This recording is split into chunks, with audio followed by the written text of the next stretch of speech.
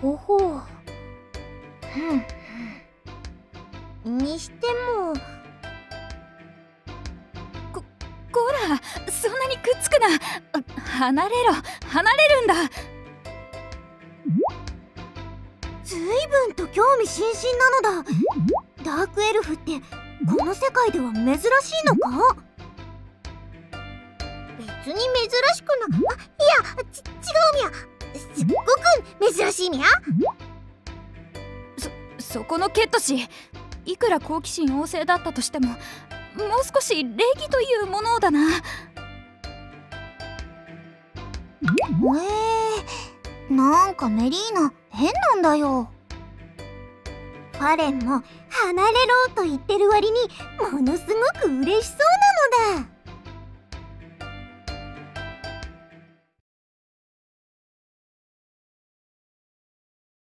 このミドガルドに来てからドラゴンや様々な敵と戦う中でいろいろな人たちと知り合い行動を共にすることになりました。ケットシーのメリーナちゃん姫騎士のシルビアさんダークエルフのファレンさんにエルフのハルディナさん。そして最後に魔法使いのサリアちゃん。この方たちとの交流を通していろいろなことが分かってきました。私たちがこの世界に来た原因はどうもシルビアさんのお父さん。オルタニア国王が異界の門の封印を解いたのが発端だったということ。魔導書を盗んだファレンさんのお姉さんと共謀していたことが判明しシルビアさんはショックを受けたようです。儀式に参加していたと思われている魔法使いのサリアちゃんの記憶もまだ回復する見込みがありません。三崎森学園に帰るための方法が書かれていると思われる魔導書の行方も不明のままです。土や死骸などから湧き出すモンスター。異形も脅威ですがやはり最大の脅威は漆黒のドラゴン。シルビアさんはみんなを説得しようとしているのですが。一刻も早くドラゴンを撃つべきです。こうしてる間にも多くの人々が危険にさらされています。私たちに戦う力が残っているなら一刻も早く最大の脅威を討ち取るべきです。姫騎士落ち着け王の敵を取りたいのはわかるがドラゴンに剣が突き刺さってたからってまだ王が死んだと決まったわけじゃない。分かった風な口を聞かないでください。私の父上が引き起こした不祥事は私がこの手で解決せねばならないのです。姫様気を落ち着けてください。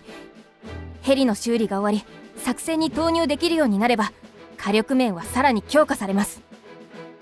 そうそう。そうすれば空と地上から同時に攻撃ができて勝率もかなり高くなると思う。飛行するドラゴンを地上からの榴弾砲や戦車砲だけで対処するのは心もとないし安全に配慮して対応したいしな。この十字の板がついた鉄の塊が空を飛んだとして一体何の役に立つというのですか？いやすっごく役に立つんだけども実際飛行したところを見ないと信じられないか。撃つにしてもドラゴンの正確な居所を特定しないと何とも。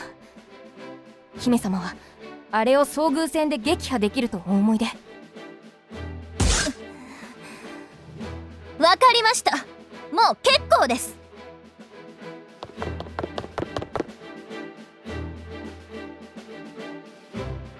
シルビアさん相当焦ってるな。まあ無理もないですね。まさか自分の父親がドラゴンをこの世界に呼び寄せたと聞かされれば。魔導書があれば異界の門を開いて再びドラゴンを封印したりあなたたちを元の世界に返すこともできそうなのですが。サリアは魔導書について何も思い出せないのですね。ごめんなさい。てっきり回収した本が魔導書だと思ってあんまり探索しなかったんだよなあの場所。それならもう一度その場所を調査する必要がありそうですね。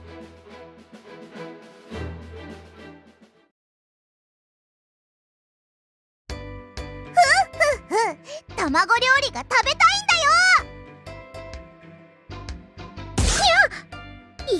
どうしたの宮崎ね。さっき夜のご飯は食べたはずだみゃお昼に非常にひもじい思いをしたのでその傷を癒すにはこの巨大な卵を生贄にするんだよ。さっきのターンなんだよ。えでもあやねとかが大事に保管している卵を勝手に食べるのは良くないような気がするみゃん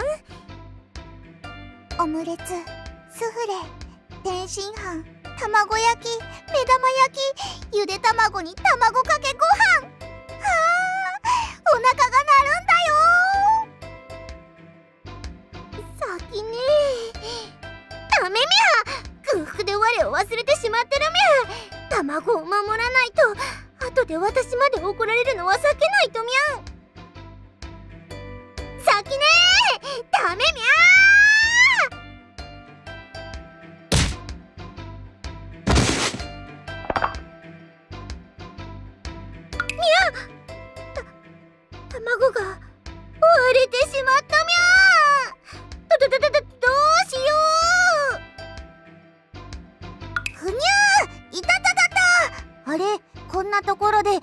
私は何を？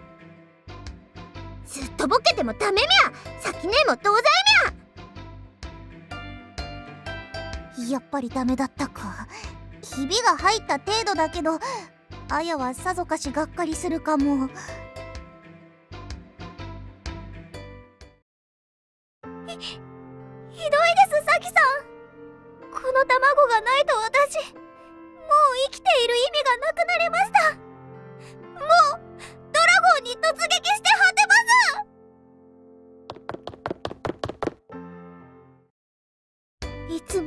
しいあやねえがどんな反応をするみゃもうメリーナちゃんダメだぞ。よし罰として全身の毛を一本一本脱毛しようね。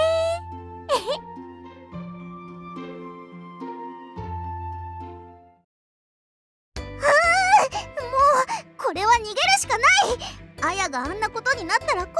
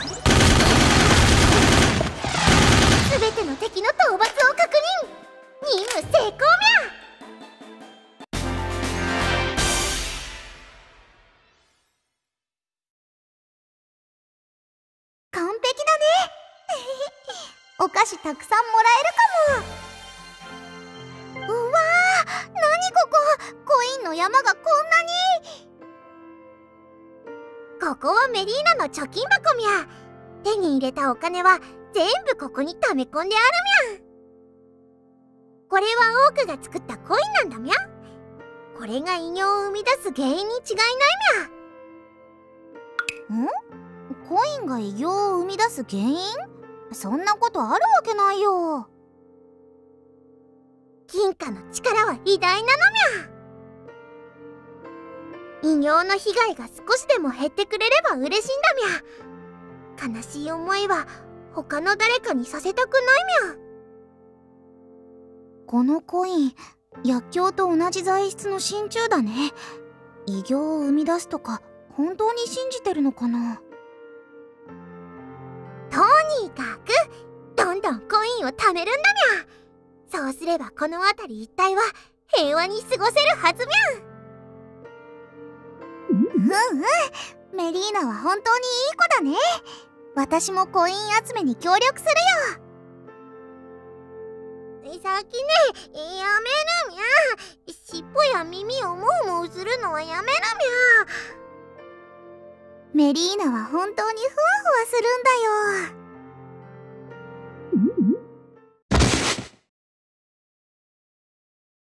ふにゃ？メリーナどうしたんだよ。何か探してるの？ララドリアン姉がいないみゃ。え？ラドリア姉ってええー、ファレンちゃんのお姉さん？先姉に隠し事してたのは謝るみゃ。でもラドリア姉は怪我をしてたみゃ。だって魔導書を盗んだ人で手配書とかに載ってたよね。シルビア姉は悪いやつみたいに言ってたけどみゃメリーナにはそんな風には見えなかったんだみゃそうあれは2日前。ちょうどサキ姉たちがミドガルドにやってきた頃のことみゃドラゴンに焼かれた家を建て直そうと使えそうな木材を集めていたらまた儀式の山のてっぺんが光り始めたみゃ。またドラゴンが舞い戻ったかと思ったんだけどメリーナは原因が知りたくて山の光ってる場所に向かったんだみゃ。やがて資料の歌に混ざって戦う音と怒号が聞こえてきたんだみゃ。へいだんだん怖くなってきたみゃ。もう引き返そうと思ったその時ダークエルフがよろよろ近づいてきて目の前で倒れたんだみゃもう本当にびっくりしたみゃでも全身傷だらけであんまりにもかわいそうだったから助けたんだみゃ介抱しようと連れて帰ってみると村のみんなはどこに逃げたのかも行方がわからなくて。とっても心細くなってこの貯蔵庫に2人で隠れていたみゃ看板の手配書の顔が助けたダークエルフと同じだったけどそんなことをメリーナには関係ないみゃラドリア姉は時々空を見上げては怖い顔をしていたけどメリーナをいつも優しく抱きしめてくれていたみゃ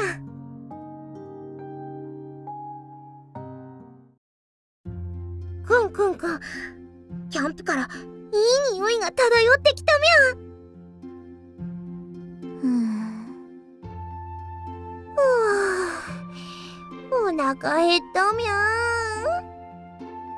ふにゃー。お腹減ったね。ところで私たちなんでここにいるのかな？それはこの部屋を先姉に見せるためみゃそれなら目的果たしたよね。ね。そうだみゃ何か大事なことを忘れてる気がするんだけど。まあいっか。よし。じゃあ任務完了。帰るよ。帰るみゃ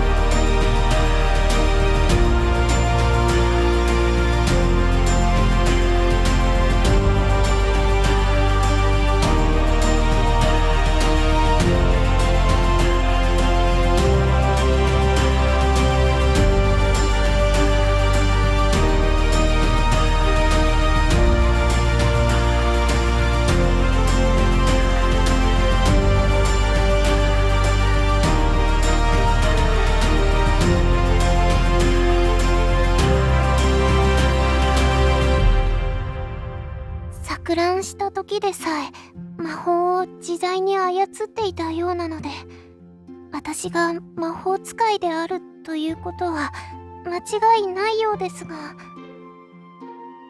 私の頭の中にねっとりした濃い油が詰まっていて重要な記憶や知識が深く深く沈んでいる感じなのです。王女様やエルフ近衛兵団長様を覚えていたということは単なる記憶喪失ではなく魔法的な封印なのかもしれません。石碑に隠されていた手紙を誰が書いたかは思い出せませんが文面はどことなく見覚えがあるものでした。魔導書の手がかりを探すためこれから私が発見された石碑を調査することになりました。ケットシーのメリーナちゃんとサキさんの姿が見えません。マイさんは別行動なのよと苦笑していましたが。サリアって魔法使いなんだろ？無反動法を打ちまくって魔法も使い放題だったら最強のレンジャーになれるぞい。なのでレミにも魔法を教えてほしいのだ。派手な爆発する魔法とか空を飛んだりするのがいいのだ。あれ？な、なんでしょう？この感じ。悲哀感？す、すいません。魔法のことを忘れてしまって。おおそうだったのだ。記憶が戻ってからでいいのだ。その時はビシバシ教えてほしいんだぞい。ええっと。いいですね。私も魔法を教わってみたいです。まあ私もどうしても教えたいというなら教わってあげてもいいけど。あれ？ゆりなさんと月代さんはさっきの違和感はありませんそうですね。記憶が戻ったら試してみます。記憶が戻ったらですけど。本当ですか？楽しみにしてます。実は魔法に興味があったのよね。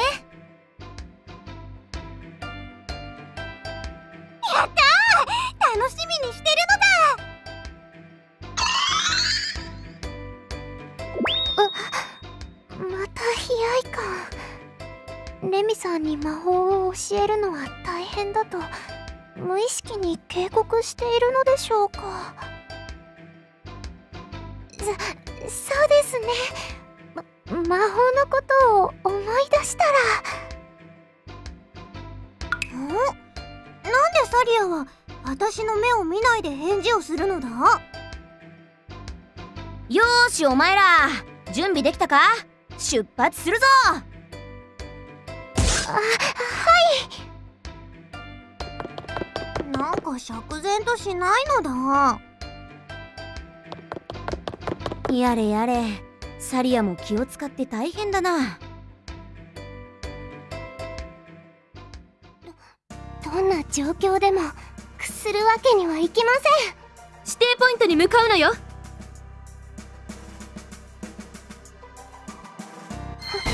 始めましょう。さあ始めましょう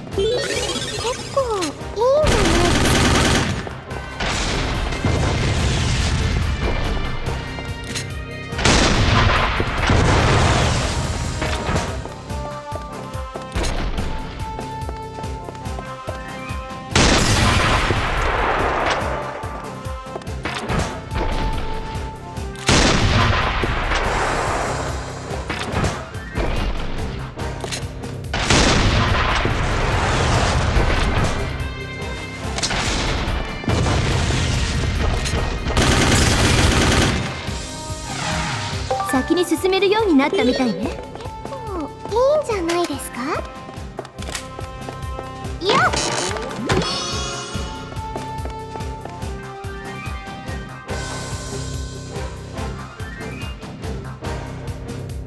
ダメ！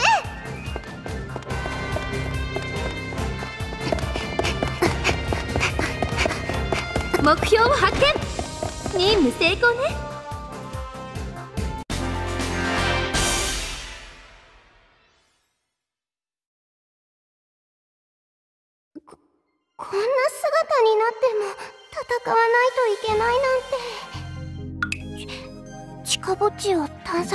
していたらこんな場所に来てしまいました。あ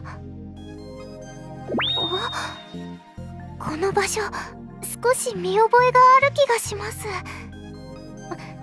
ももしかしたらここに魔導書があるのかもしれません。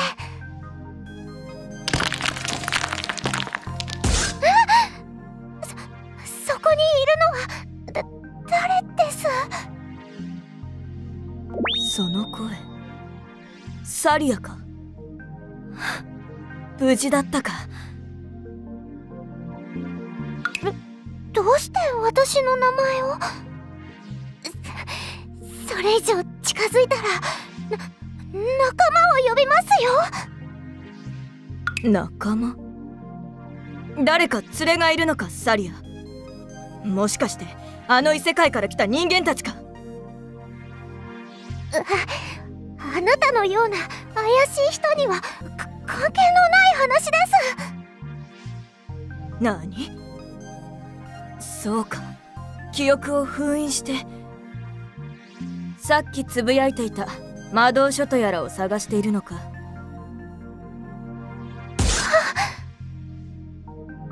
異世界から来た人間など信用するな。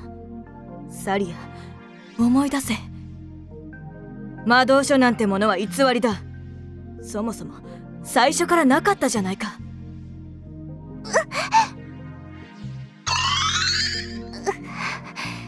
今何か頭が痛い。それにこれはお前が始めたことだ。私が始めた？それにあいつが探しているあの卵の行方だって。卵。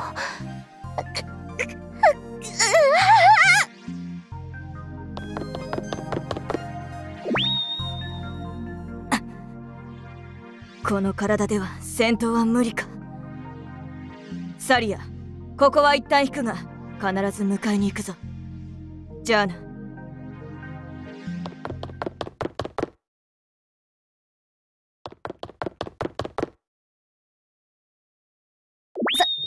夫？一体どうしたっていうのよ。月夜さん心配ありません。たただのめまいです。今誰かいなかった？仮面をかぶった怪しい人が。後を追いたいところだけどこんな状態のサリアは置いていけないわね。すみません。大切なことを思い出しました。大至急皆さんにお伝えしないと。私たちのキャンプに保管されていた卵。ああれは竜の卵です。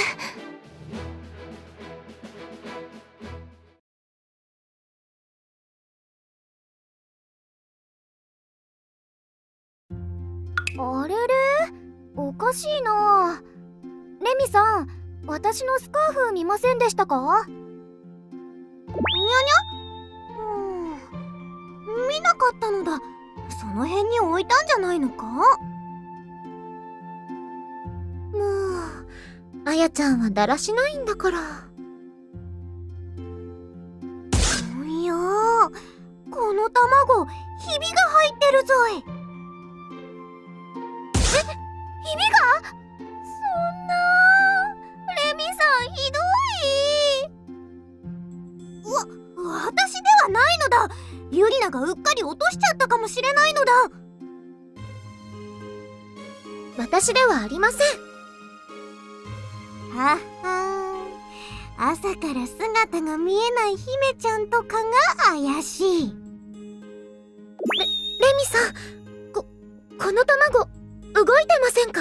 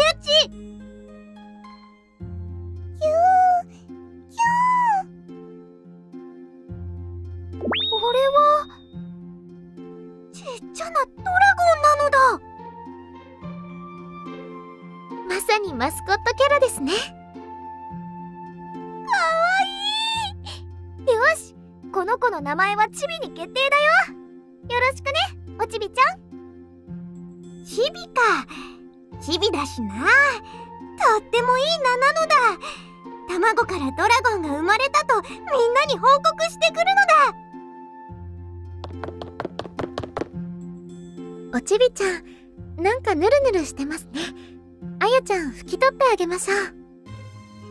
消毒用のアルコールティッシュしかないけどまあ問題ないよね。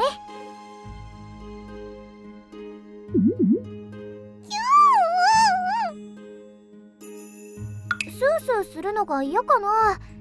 ちょっと我慢してねおちびちゃん。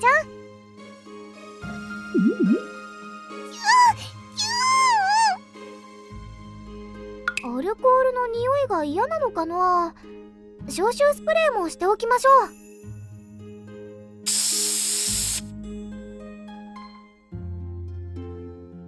くしゅ。おーよしよし。頑張ったね。おちびちゃんよく我慢できました。レミは慌ててどうしたんですか？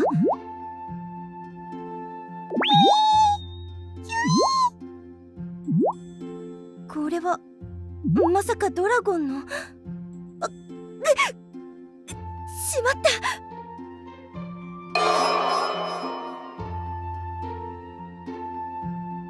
ハルディナさん？大丈夫ですか？気をしっかり持って。だ大丈夫。油断しました。あやそのドラゴンの赤ん坊を私に近づけないで。